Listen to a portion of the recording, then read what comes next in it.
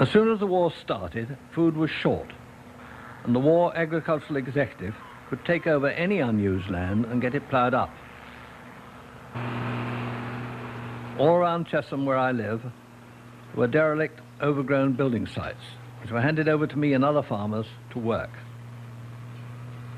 I farmed 200 acres at the beginning of the war and 450 by the end.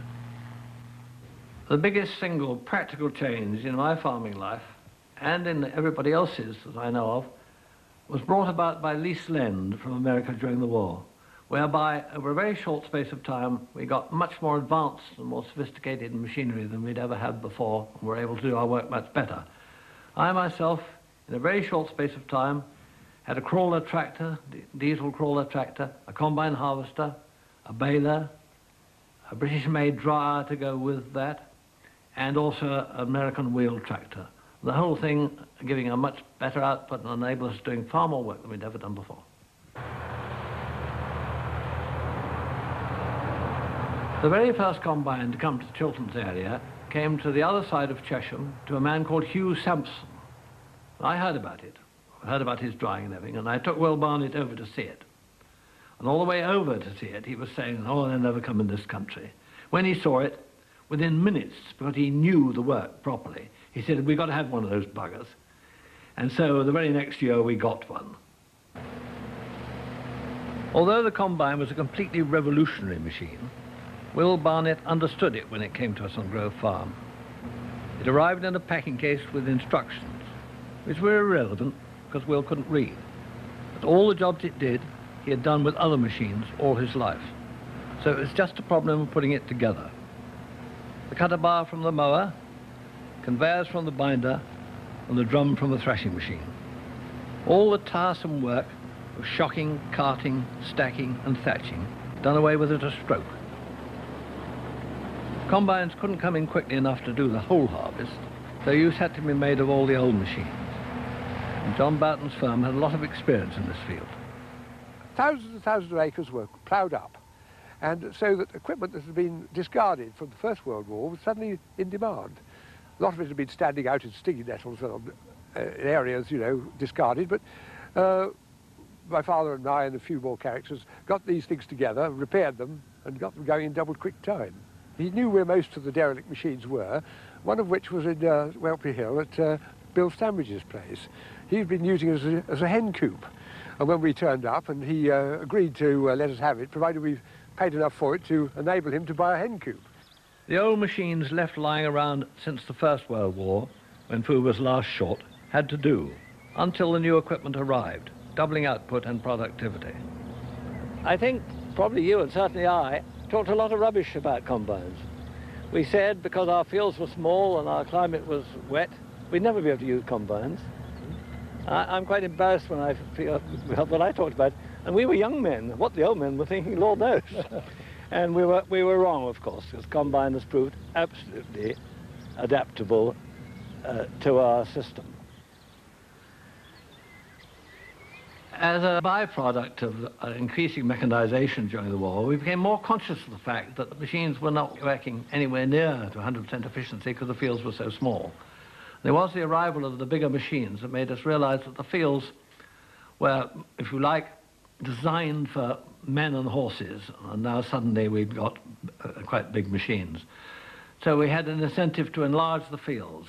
And before the end of the war, I was taking out quite a few hedges and being encouraged to do so by everybody, being cheered on by the local population who wanted more food.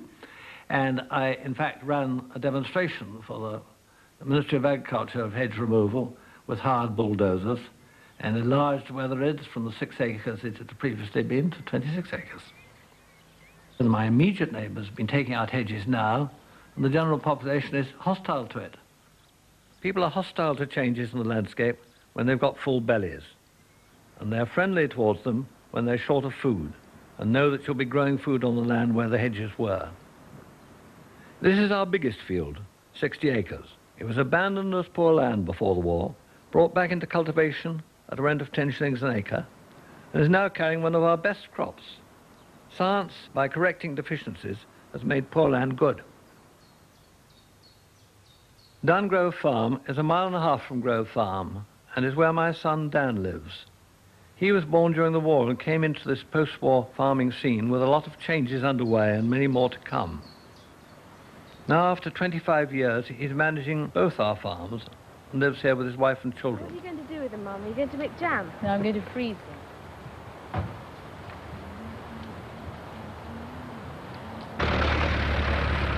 The land I started with was 200 acres all in one spot. But expansion has led to the land Dan deals with being scattered. It used to be said that the farmer's feet were the best fertilizer. And if you had 100 acres all in one spot, you could walk your farm in very quick time and you could see what was happening.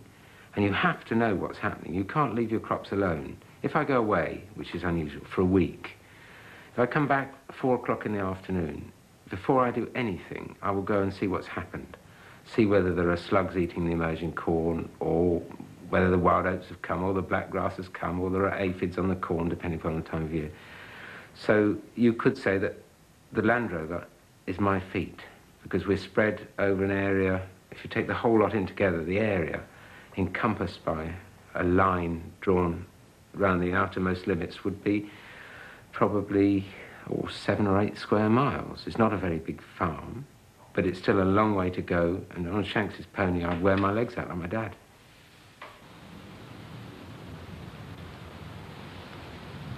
Farming is still all about looking and observation. Dan can see things that I would never see, and I wouldn't know what they were if I saw them. This crop of wheat, which looks perfectly healthy to me, may be about to suffer an attack. If Dan can diagnose trouble early and treat it, we're all right. In the past, the loss of an entire crop was not uncommon. It's happened to me. A major part of today's huge production is the avoidance of pest, which makes things a bit more predictable. That's the difference between our generations.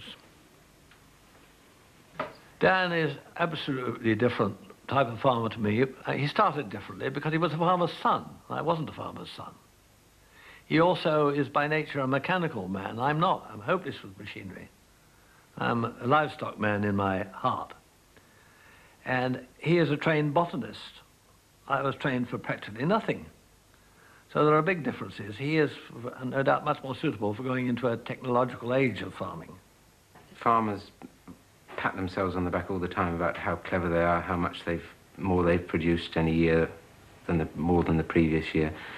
But in fact, we're not better than our forebears. We've just got a vastly improved number of weapons. We have the chemists working for us producing fungicides, insecticides, um, uh, treatments for the seeds and treatments for the animals. We have um, new varieties of corn, new varieties of maize that we can now grow in this country for, not for cereals yet, but that'll come, for forage. We don't work better than our forebears. We don't even work longer than our forebears. And we certainly don't work harder than they did, because most of our life is spent pulling levers. In the whole year, I don't think I lift more than five or six tons of anything. But I might do a bit more. But basically speaking, our work is done for us. Instead of dragging elderberry bushes along the field to try and kill the flea beetle, we can use a variety of chemicals. So we've got all these weapons, all these things to help us. The chemists are so sophisticated that they can produce chemicals now, and they have produced chemicals now. One of them is aptly named finesse. It's, it is, it's very, uh, very accurate. I think we use a quantity of about one and a half ounces per acre. It kills a large proportion of the broadleaf weeds in winter corn without affecting the crop at all. And many of the chemicals we're using pounds or less per acre, 4,840 square yards. Bill? Oh, Bill King is a tractor driver with a lifetime's experience, and he does most of the arable work on the farm. Bill gets to work at quarter past seven most mornings, and then we discuss what we're going to do for the day, because he's the key man on the place now. Nothing works without Bill.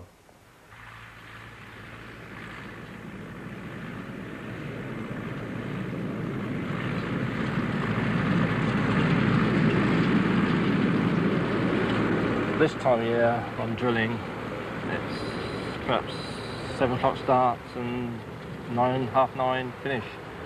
And I might see Dan once in the day if he's busy. He just comes and checks me out once, and I'm always on my own. Don't see anybody, you know, all day. So I saw someone come up the footpath with a dog. This field we're in now, I will sow it, put the fertiliser on, spray it, do all the jobs to it, and you can see through the months of the year everything changes, and it's and you've done everything to make that field change. It's you that's altering the landscape. Over the years, the labour on Grove Farm has declined dramatically, from nine men in the early 70s to six when Bill first started, and now there are just two men, a boy and Dan, producing more than ever.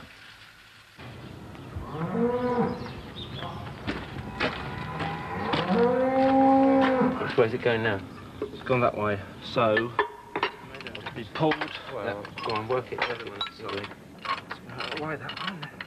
The financial pressures to do jobs more cheaply all the time means that we have bigger and bigger machines with less and less men. The bigger the machine you have, the more acres it can cover. And there's a sort of irresistible pressure to get the larger machine and then to get enough acreage to, to satisfy its appetite. The farm's 800 acres, which for this area is, I would say, about average or a little larger. Hmm. I don't know whether it's big enough to survive on in the future. So we're grain specialists. We've given up a lot of things which others are specialising in. My neighbour Ben Boughton, the son of a general farmer, now does pigs alone. He's a cousin of John Bowden, the thrashing contractor who resurrected the old machines in wartime.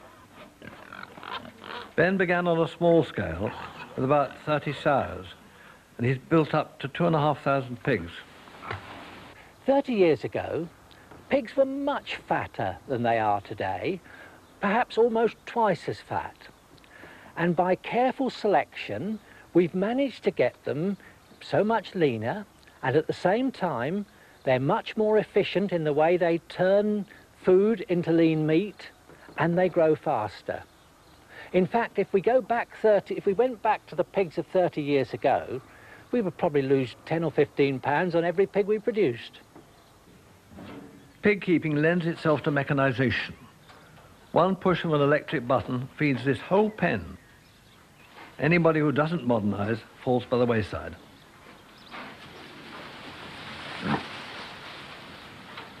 Technology in farming changes so fast that if, if I was operating today with the technology of 15 years ago, I should be absolutely out of date. The changes of genetics, nutrition, pig housing, management have been through a revolution in that time, and that revolution, of course, will continue. In the 1950s, all forms of farming in Britain had advanced enormously under the influence of science and economics and everything else. Uh, uh, the crops were yielding much better, the milk cows were yielding much better. One thing hadn't advanced at all, that's the beef cattle. If anything, they were inferior to the beef cattle that had been 150 years before. And that really is because uh, public tastes had changed, and the beef breeds had originally been bred by people who wanted fat, and now they no longer wanted fat. And it would have taken 50 years to change our native breeds. So lots of people were looking around the world for some country which already had beef animals suitable for modern tastes. And with some friends, we hit on France and the Charolais breed, so we set out to bring them in and establish a new breed here. We were told, all right, you bring them in, but these are the conditions. You must find a quarantine where you can unload straight from the sea into the quarantine, not crossing any agricultural land. You must uh, arrange for the quarantine to be anything up to three months in this country, following a quarantine of a month in France. And then if anything fails, any diseases to test at the end of that quarantine, the whole lot will be sent back to France. So it's pretty stringent. And we got over it uh, by courtesy of the Commander-in-Chief Plymouth Naval Dockyard, not commercial dockyard. We borrowed a building from him where you could unload cattle from the sea under naval security. Nobody could query it. In a very short space of 25 years, they've become the second most numerous and by far the most important beef breed in the country. In only 25 years. We've kept our Charolais on this farm pure and pedigree because our trade with them is for bulls on crossing on other herds, and so people want to have the guaranteed origin of a pedigree. And of course, the influence of a bull is tremendous in the herd. It's always used to be said the bull is half the herd. And in fact, that's true because half of every calf that comes in the herd. And so you use a bull of another breed, like the Charolais on an English breed, immediately half your herd becomes half Charolais.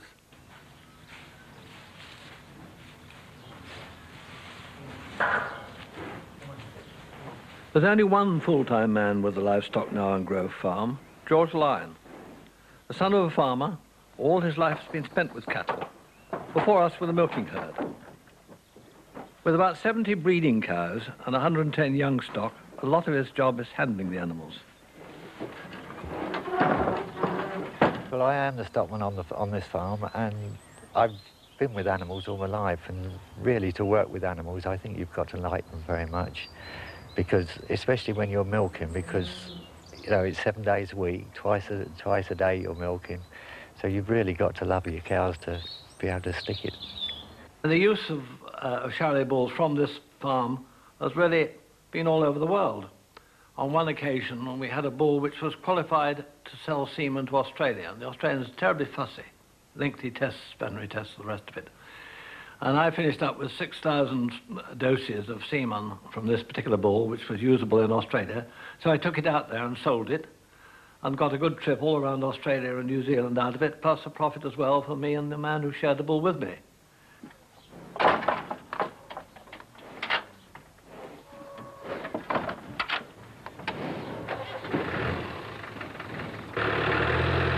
In the early days, every bull calf was sold for reproduction. New Zealand, Australia and America all wanted Charolais from us, and perhaps our biggest trade was with Texas. The men who came across to buy from us were cowboys. Some of them were oil men as well. They came across dressed as you would expect them to dress and spitting on the carpet quite regularly. And uh, uh, were very keen buyers for our first bull calves, and it was a bit of bonus for us and a bit extra reward for having brought the breed in. Now, some of our cattle go just for beef, and only the best for breeding. The biggest market in Europe is Banbury. It's a good place to sell Charolais, with vendors from all over Britain and buyers from all over Europe. Six, six.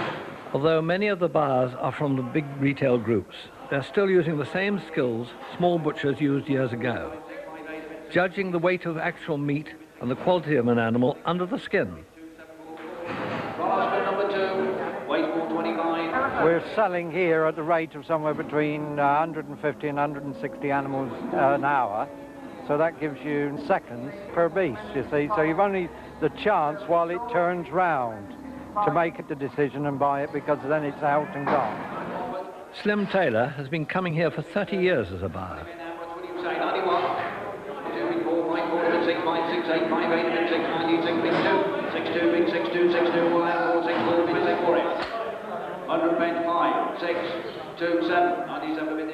When I first came, we used to need a finish, Yeah. you know, which is going back 30 odd years, Yeah. which is fat really. Yeah. We, in other words, everybody liked fat in those days, and, and gradually with the health consciousness of the public and and uh, and taste, if the younger generation of people don't like fat at all, so you then have to come gradually, the beast that you use gradually comes leaner and leaner.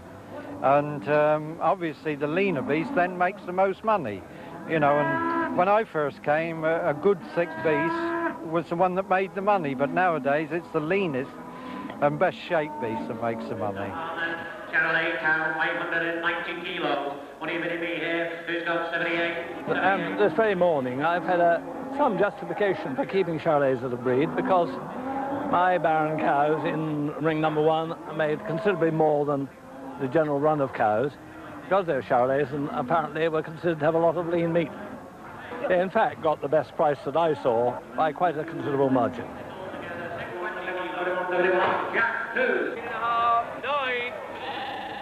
My animals went back to be eaten in France, where their grandmothers had come from. Others went to Germany and Belgium. And from here, sheep go all over Europe. The whole of our farming now is international. EEC has seen to that. Up to now, we've had a, a wonderful honeymoon.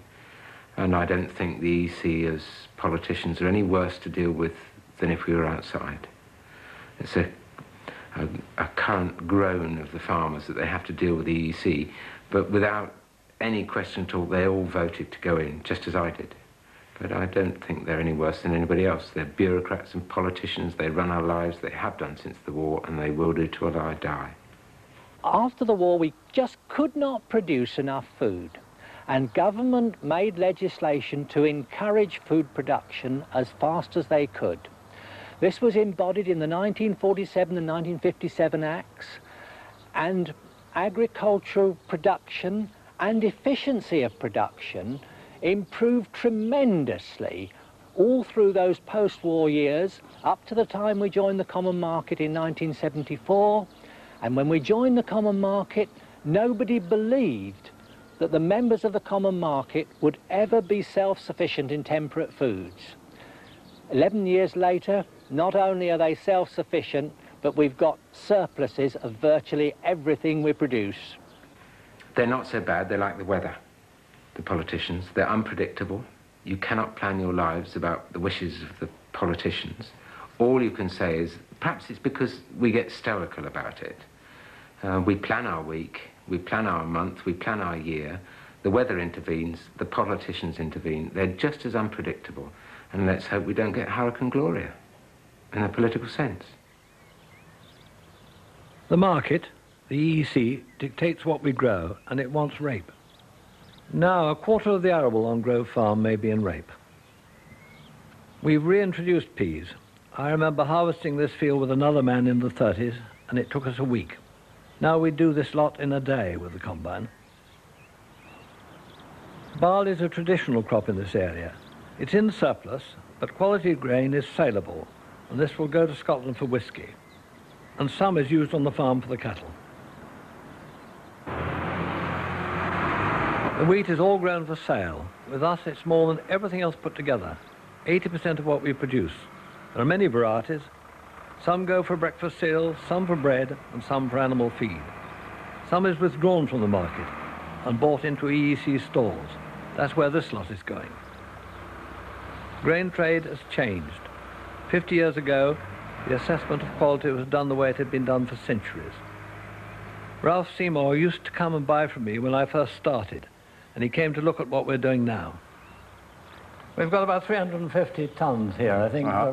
of a variety of wheat, rapier, Mm. which I think is a good feeding variety. You see, what do you think about it? Mm, well, it's all right for feeding, Tony, but... When I pick a handful up, first thing, I get the weight. Then I smell, because there are various diseases which can be in wheat, such as stinking smut and so on. Then I look to assess the screenings. Then I put it in my mouth, some of it, not only to taste it, but to also help towards the softness of the wheat. And then I chew it, which gives me an idea of the possible gluten. You've seen Michael. When you've seen it, we've got to do a deal. And you've got tactics in that as well. Well, look, you're the seller and I'm the buyer. You wouldn't expect me to say this is a lovely sample of corn, Tony. Um, obviously, I'm going to find all the fault I can. You, on the other hand, are going to counter say, well, look, I've got Bill Jones up the road, I, you see, and uh, you just play one against the other. Yes. That's all part of the uh, uh, dealing. And of course, And- we should show it to a lot of people. And all the farmers I've experienced, they've got a pretty good idea of what the value of the stuff is. And uh, it isn't quite a question of when Jew meets Greek, but it's blooming nearly that. It, it's a, a game that you play, and you both know that you're playing it. Yes. But you, I talk your stuff down, you talk it up. Yes. And your skills had gone on for hundreds of years, passed down from one man to another, Yeah. and checked against experience. The next generation will have forgotten those skills because they have no use for them. It's, it's like uh, Yeah. thatching ricks or building corn ricks. Yeah. Modern techniques have overcome.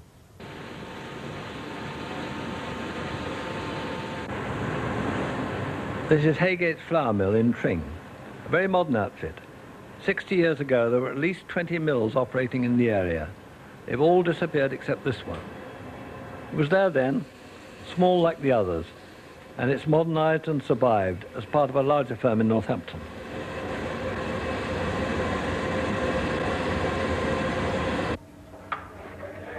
The girls here are doing the same tests as Ralph Seymour did, not by experience like him, but with instruments. This is the moisture test, and nobody's chewing anything. The flour from the mill is no longer delivered just locally. It now goes to bakers over a wide area. Malting barley. You were dealing Well- with malting barley as well. Uh, yes, that was a quite different technique. I remember uh, going, when I'd be about 18 or 19, to an old brewery at Ivinghoe, Robertson Wilson Brewery, and see Reggie Wilson, to uh, try and sell some barley for malting. Well, now, as you know, if you turn barley to the sun, it looks so much better. And if you wanted, then we used bags. And if you put it in a black bag, of course, that also Made it look much nicer colour. So- brighter, yeah. I went to this Reggie Wilson and, of course, turned my sample out Yeah. on my hand and Yeah. so on, you see, and in the sunlight. Yes.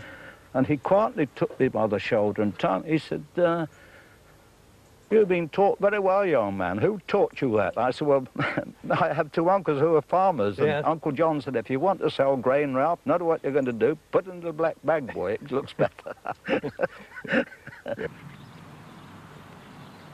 In my life, there's been an advance which would have been unimaginable when I started farming. But some things don't change at all. The day still starts with the dew on the grass, and the harvest can't begin until it's dry. You still have good seasons and bad. It's the scale that's changed. When I first started thinking about farming in uh, 1918, 1920, uh, 18 hundredweight to the acre was a good yield of wheat in this area. Just before the uh, Second World War, we'd got it up in our best crops to about 3,500 hundredweight the acre, nearly doubled. Now we're disappointed if we don't get 70 hundredweight the acre, so the yield of wheat has quadrupled in one man's life. My farm is more than four times as big as it used to be, and where a man could handle about 100 acres, today with modern tractors he can handle 400. For 40 years, we've had a developing boom, and we've been so successful that we've created a crisis for ourselves. Our machinery lets us work far into the night, producing grain which we may not be able to sell.